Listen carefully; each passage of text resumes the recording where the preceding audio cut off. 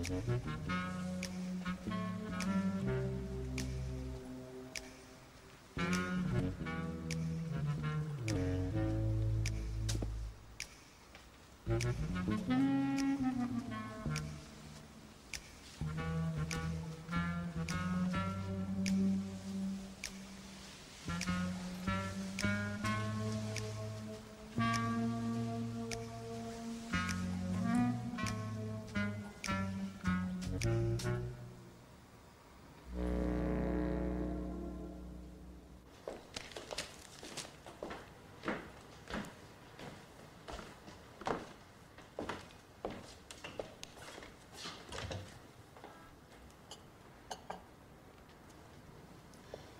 it go last night? Well, okay. Just okay? Must have gone pretty well. You didn't get home until the middle of the night.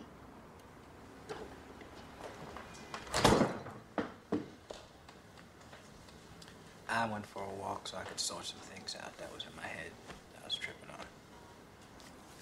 Like the fact that you're still in love with Jacqueline, right? Angela, I saw the woman and a bunch of stuff that was in me I didn't even know was still there came out. Things happen and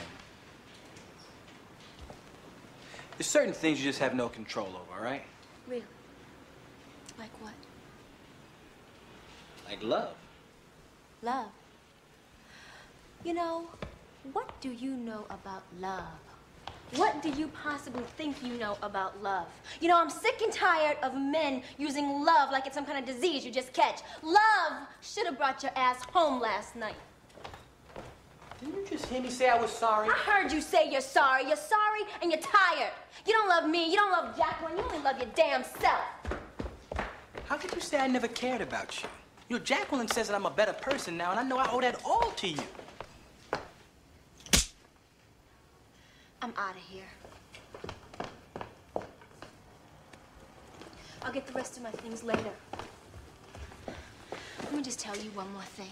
I might not be all glamorous, and I don't have hair weaved all down my back, but let me tell you one great thing about me, all right? I've got heart. And you know the bad thing about having heart, Marcus? Is that it gets broken when you deal with people like you. Now stay the fuck out of my life.